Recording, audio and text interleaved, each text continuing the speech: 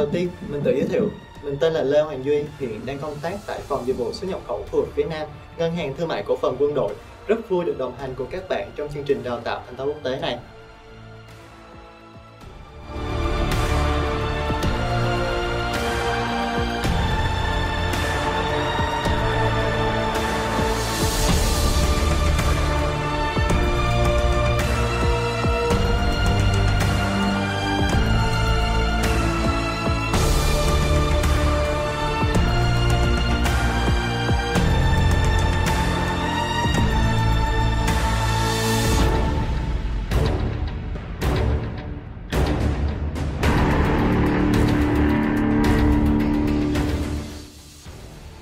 Thư tín dụng Letter of Credit viết tắt là LC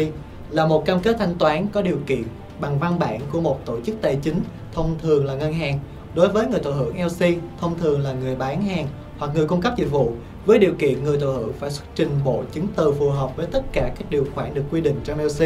phù hợp với các quy tắc thực hành thống nhất về tín dụng chứng từ UCB được dẫn chiếu trong thư tín dụng và phù hợp với tập quán ngân hàng tiêu chuẩn quốc tế dùng để kiểm tra chứng từ trong phương thức tín dụng chứng từ ASBB.